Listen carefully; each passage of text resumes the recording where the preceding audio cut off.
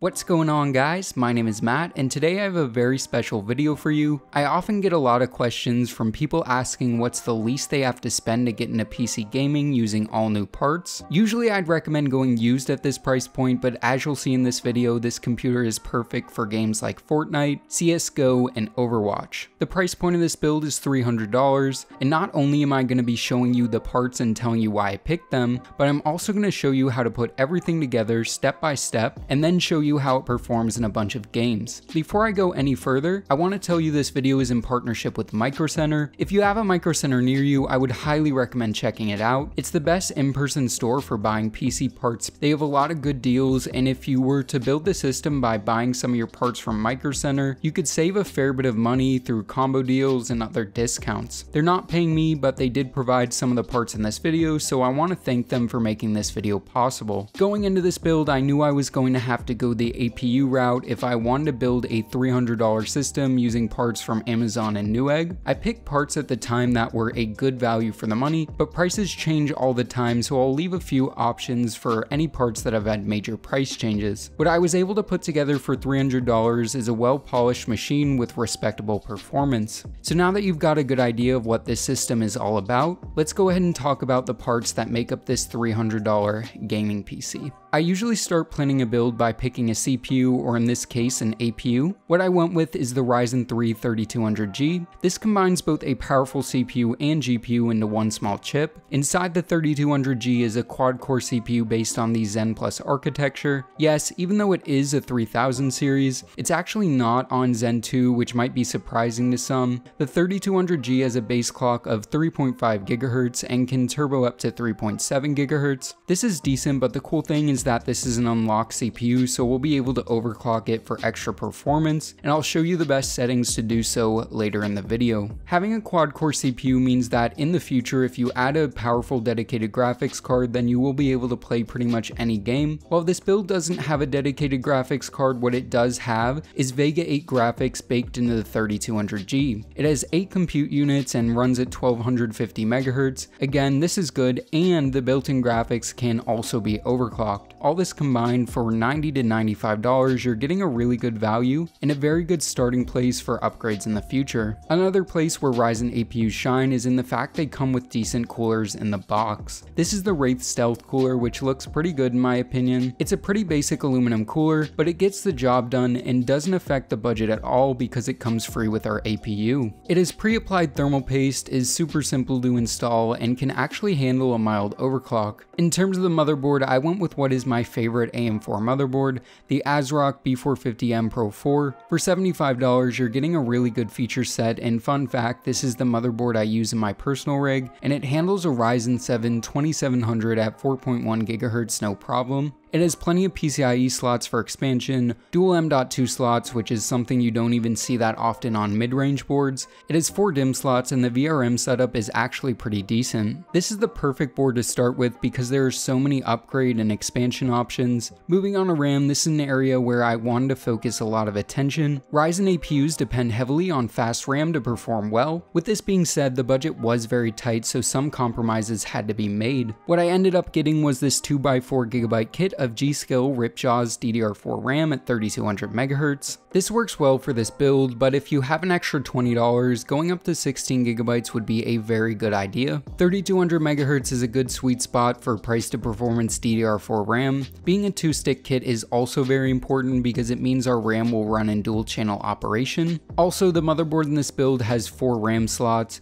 so upgrading to 16GB is as easy as popping into more 4 gigabyte sticks. Next up, let's talk about storage. SSDs are getting very cheap, making it even possible to have one in this $300 PC build. What I went with is this 240GB Inland Professional SSD that I picked up for around $25. This particular drive may not be at that price anymore, but I'll leave links to other 240GB SSD options around the $25 price point. 240GB is plenty of space for your OS, applications, and some games. And you can always add more storage later down the line in the form of a hard drive or another SSD. While 240GB is okay to start with, I wouldn't ever really recommend someone start with a 120GB SSD just because it's too little space and going to a 240GB drive isn't much more expensive. This Inland Professional SSD is definitely a lower end drive, but an SSD like this is going to be miles better than a mechanical hard drive. Powering the system is a 450 watt Seasonic S12 III. Power supply prices are pretty bad right now, but for a little over $40, I was able to get this unit with 450 watt 80 plus bronze efficiency and all black cables. This unit looks and performs great and Seasonic is a very well respected and highly regarded power supply manufacturer. 450 watts is way more than enough for this build and is plenty for when you decide to upgrade to a dedicated graphics card with external PCIe power requirements. Finally, let's talk about the case.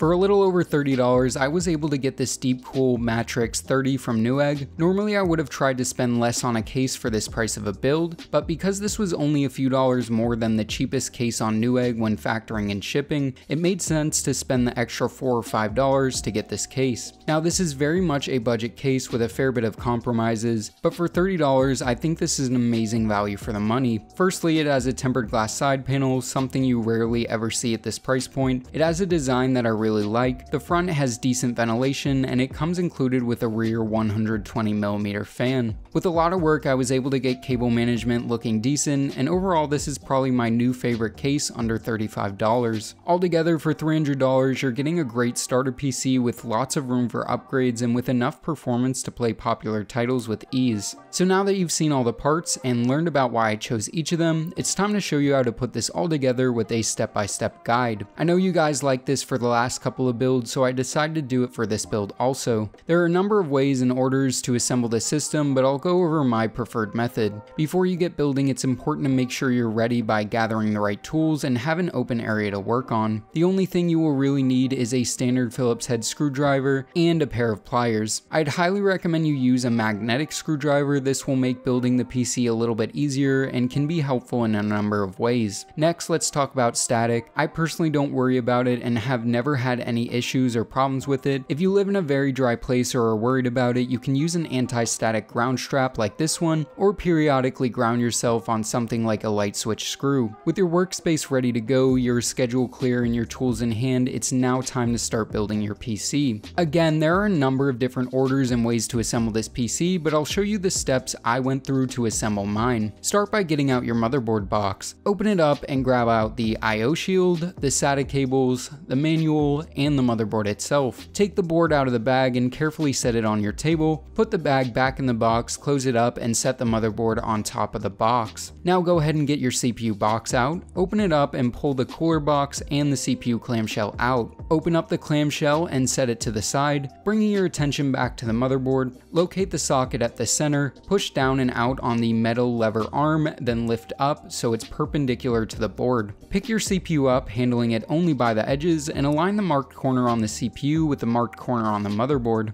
Another way to know it's oriented correctly is to align the AMD 3200G name parallel to the part of the socket that says socket AM4, then just lower it into place and close the socket in the reverse order in which you opened it. Next, to prepare your motherboard for installing our cooler, we need to remove these two plastic pieces. You just unscrew two screws from each and they lift away, but make sure to leave the backplate in place because we need it to install our cooler. Next, grab the cooler box and open it up. As you can see, there's pre-applied thermal paste on the bottom of the cooler, so make sure not to touch that part. Grab the cooler and lower it into place, aligning the screws with the holes in the backplate and the AMD logo facing the back I.O. Then tighten down the four screws in a cross pattern to ensure even pressure across the CPU. This part is totally optional, but if you want the AMD logo sticking up, Unscrew the four small screws that connect the fan to the heatsink, rotate the fan 90 degrees, then reinstall these screws. Next, locate the CPU fan header at the top right of the board and align the notch in the fan connector with the notch in the header and lower it into place. You can now press the cable under the fan shroud to neaten things up a bit. Now bring your attention to the DIMM slots on your motherboard, open up the clips on slot 2 and 4 just as I've done in the video. Now grab your sticks one at a time and align the notch in the RAM stick with the notch in the slot and lower it into place. Once lowered in, press down until you hear a click noise and the clips close. Repeat this for the second stick. Now you can set your motherboard to the side and get out your case.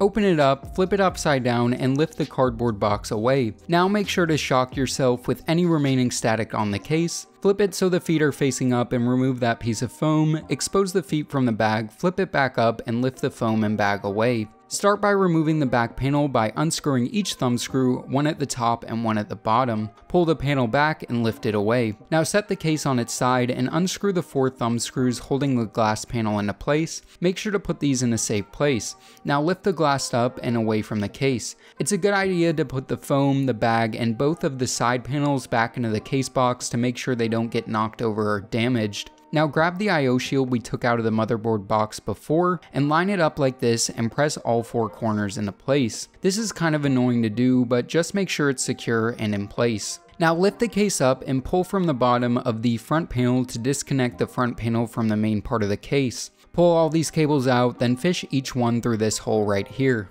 Cable management is difficult in this case, so I had to be very thoughtful very early on in the build about how things will be routed. With that done, you can press the front panel back into place by pressing the four corners. Now take all these cables and route them down through this hole here. I then used one of the zip ties included in the case screw bag to hold all the cables in place. Now set the case to the side and grab out your power supply. Pull the power supply itself, the AC power cable, and the screws from the box. Undo the twist tie, but don't throw it away, we need it in a second. Now pull aside the 24 pin cable that looks like this, the 4 plus 4 pin CPU cable that looks like this, and one of the SATA cables that looks like this. Now bundle the rest of the cables back up and resecure them with the twist tie from earlier as we won't be needing these and doing this keeps them neat and out of the way. Now with the fan side facing down, slide the power supply into the case and make sure the holes in it match up with the holes in the back. Now take the four screws that came in the power supply box and screw one into each hole to secure the power supply into place. Now push all the front panel cables into the front of the case like this so they're out of the way and flip the case onto its side. Now we need to move and install a few extra standoffs from the screw bag that look like this. We need to unscrew this one and move it down here.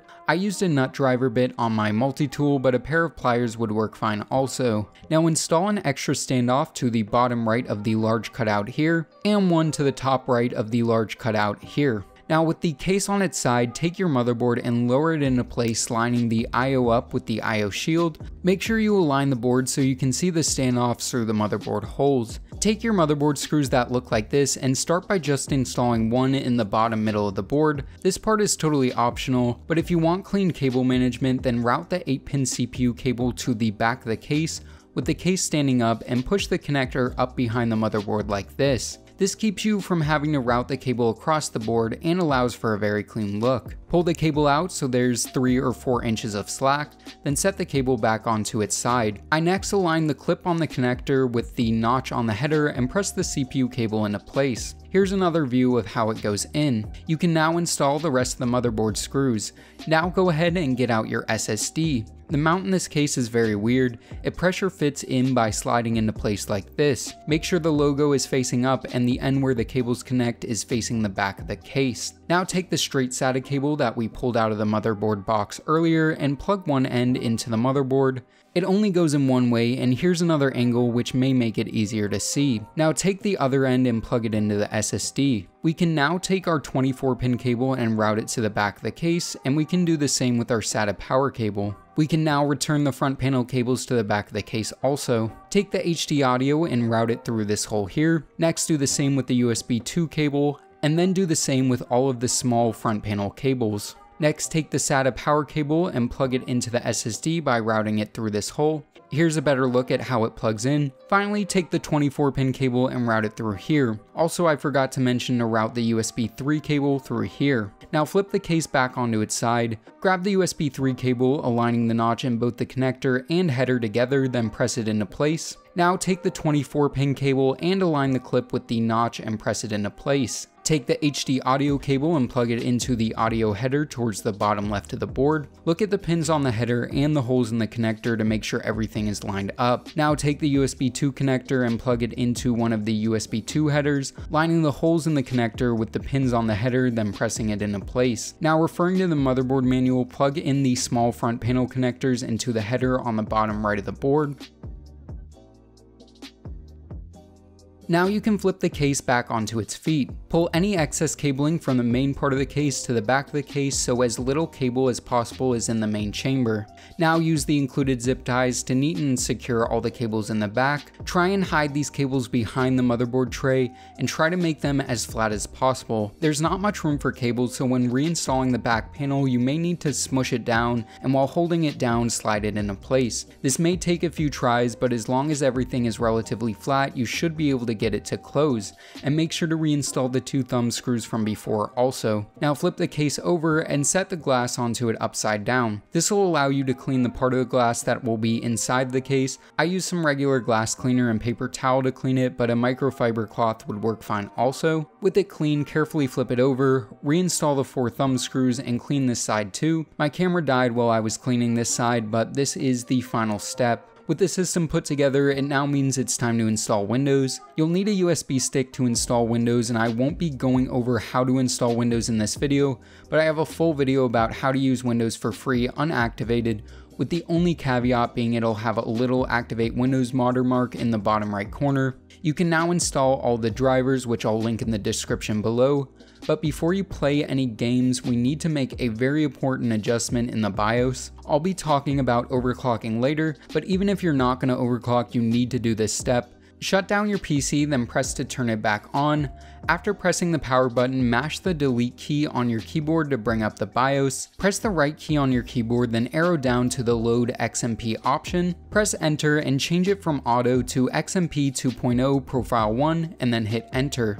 Arrow down once more over DRAM frequency, press enter and make sure 3200 MHz is selected and press enter again. Now arrow to the left twice to get into the exit tab, hit enter to save changes and exit, then hit enter again to confirm these changes. What we just did was ensure that our RAM will be running at its correct speed, which has a huge impact on gaming performance. If you're not overclocking, you're now ready to hop into your games and enjoy your new PC. Before I talk about overclocking, I want to go over the stock performance of the system without any overclocking and with the correct XMP profile enabled to show you the stock performance. So I tested a few different games that I thought someone with a system like this would want to play. Starting off with Fortnite at 1080p competitive settings, the system averaged averaged 62 FPS with 1% lows of 50, which honestly was a pretty smooth and enjoyable experience. I haven't had too much experience with APUs in the past, but this performance at stock speeds honestly impressed me. Next, I tested CSGO at 1080p competitive settings and this system receives an average of 136 FPS, with 1% lows of 87. This was a pretty good experience too, and overall gameplay seemed pretty smooth.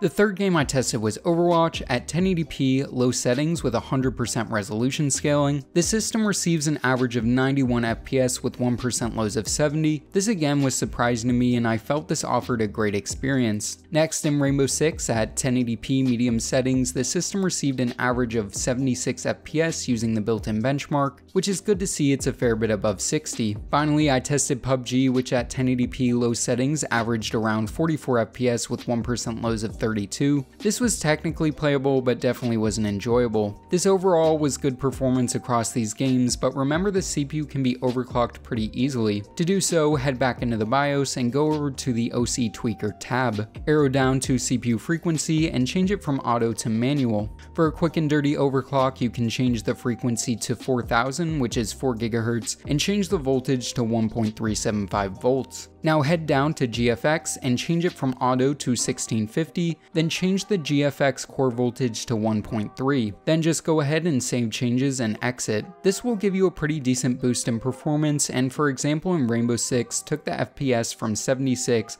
up to 88 average just by doing this quick little change in the BIOS, and in many cases the increase in performance will be even bigger. Overall, for $300 you're getting a great PC to start with using all new parts, the performance is good and the system doesn't look half bad either. Again, thank you to Micro Center for providing some of the parts for this video, please check to see if you have a Micro Center near you as they have amazing in-store deals.